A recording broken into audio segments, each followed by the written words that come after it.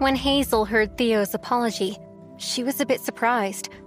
She shook her head, and her mouth curved into a smile. Idiot. What are you apologizing for? She said. This battle between Sophia and me has been going on for a long time. Even if she hadn't kidnapped me this time, she would still have found another way to hurt me. However, I didn't think that she wanted to hurt me that badly. You don't realize how hard it was for me to hold on while she did those things. But I firmly believed that you would come, so I was able to endure it. Hazel gave him a sad smile as she recalled her feelings on that day. Once Sophia had her tied up, she really hadn't known what to do. But every time she thought about giving up, there was a voice in her heart saying that Theo would come and save her. This thought gave her pause, however. She didn't know when she'd become so reliant on him. No matter what kind of difficulty she had found herself in lately, the first person she would think of was Theo. Have I really fallen for Theo? She wondered. Aren't you curious about what happened to the Fisher family in the end? Theo asked Hazel out of the blue. She was surprised. Theo wasn't just talking about Sophia. Did he take on the whole Fisher family to avenge me? She wondered worriedly. I had thought that you would only take revenge on Sophia. Did you go after her family as well? If so, she must be twice as miserable as I thought, she said to him. Hazel smiled bitterly. She wondered how Sophia's family had reacted. She knew that sometimes in a wealthy family, if a child brought shame upon them, they would disown her. She wondered if the Fishers had kicked Sophia out of the house. Theo said, They deserved it. Sophia has always been a spoiled brat and made poor choices. It's her father's fault for always giving in to her. You don't need to blame yourself. I was the one who threatened them. He hadn't wanted to release the people who had hurt Hazel. He had waited to decide what to do with them until he found whether Hazel would recover. Fortunately for them, she survived. He felt merciful and had let them go once he knew that she would regain her sight. Theo didn't tell Hazel that Fiona had offered herself to him. It had been annoying. Although he would never consider accepting such an offer, if Hazel ever found out, it might put her in a bad mood. For the time being, Sophia was living in her family's house. Although Peter's company had declared bankruptcy, the house was owned by Sophia's mother, so they hadn't lost their home. Sophia had been let out of jail on bail, and her life was uncertain. All the members of the Fisher family were worried about their futures. Bella Sharp had been the one to bring Sophia home. Once she delivered her, she had gone straight home to avoid seeing anyone else in the Fisher family. The sight of Bella near their home infuriated Fiona. She considered Bella a threat to her hope of a life with Theo and couldn't believe her sister was still associating with her. As soon as Sophia walked in the door, Fiona began taunting her. The damaged daughter returns. How can you even show your face here? Thanks to you, our family is in ruins. If it had been me, I would have died before coming back here, Fiona said. Sophia didn't reply. Instead, she began to walk to her room. She was already plotting to go after Hazel again. She knew she would have to be patient. Eventually, her connections in the underworld would become available. In the meantime, all she could do was hunker down and make plans since she had no money and nobody else to help her. Fiona saw that Sophia was ignoring her, so she became even angrier and shouted, What are you hoping to do now? Don't think you can be the same woman you were before. You're going to have to work to support the family now. No one in this family wants you around. You're an embarrassment.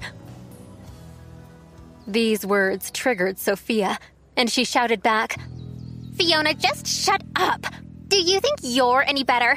Your strategy to save our family was to offer yourself up to Theo, and he rejected you. Talk about embarrassing.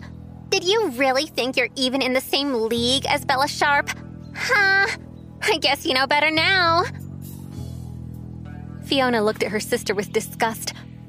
After her release, Sophia had planned to beg Theo to rethink his demand that Peter declare bankruptcy. Sophia had always relied on her looks to get what she wanted.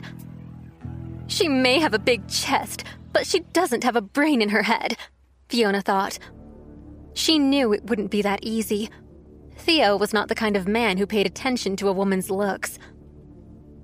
Fortunately, Fiona had long before decided not to depend on others and had worked hard to earn money for herself. However, this had resulted in a need to get more and more money. Her sister's recent behavior was making that difficult. Sophia, I'm still hoping that our family can survive this, but we don't need you. You never come home unless you need something. Our mother has been so sick, but you were too busy partying to come see her. You don't care about anyone's feelings except your own. I'd advise you to walk out that door and not come back. We don't need you. Fiona said angrily. She wanted to drive Sophia out of the house for good. After all, any money Sophia earned, she spent, and nothing was put toward helping the family. In addition, Fiona had already set her sights on the family house. With Sophia out of the picture, when her mother died, the house would be hers. It was one more thing to help her build her fortune. Well, I'm not home every day, Sophia said. I know she's sick, but who are you to judge me? You're home every day, but you never take her to see a doctor. You just stay home and spend your money on makeup or expensive handbags instead of using it to take care of her. And it's not like it's helping make you beautiful. It's obvious. You're not getting any younger. It's no wonder Theo rejected you. Sophia had stopped spending time with her older sister years before. It was true that her sister was smarter than her, but all Sophia wanted to do was eat, drink, and have fun. Things Fiona never wanted to do.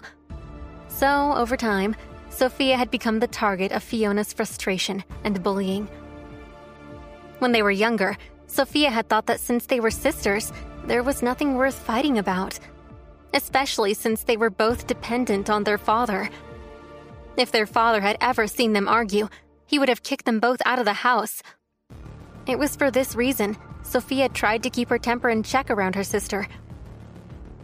Now that their father had no money, Sophia felt that she no longer had to do that.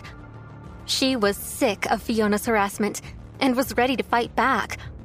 Even though she knew that she was the cause of her family's situation, she didn't regret it. After all, she knew how they had felt about her before the incident. Who cares what they think of me now? She thought angrily. They won't be treating me any worse than before. At that moment, she only had one goal, and that was to destroy Hazel. It's Hazel's fault that we're destitute. If she hadn't insulted me in front of Theo and Bella, none of this would have happened. She decided. You don't need to be concerned with my affairs, Sophia continued. And as far as you're concerned, I think you need to do something besides moon over Theo Maynard. You know that Bella Sharp intends to marry him. Do you think Theo would choose you over a smart, successful businesswoman like her? I know Bella. She'll watch out for her own interests. In her mind, they are already together. Don't you think she's happy seeing your situation? It will just make it easier to get the man she loves.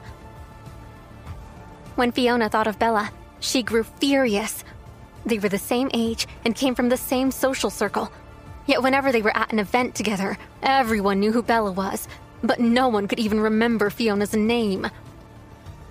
Fiona had long considered Bella as her enemy. She had spent her life trying to surpass Bella, but she had never succeeded. The disparity in strength between their two families was too great. Although they had both come from wealthy families, the Sharp family had always been more successful. And after Sophia's actions, there was no comparison at all. Once again, Sophia had succeeded in making her life plan more difficult.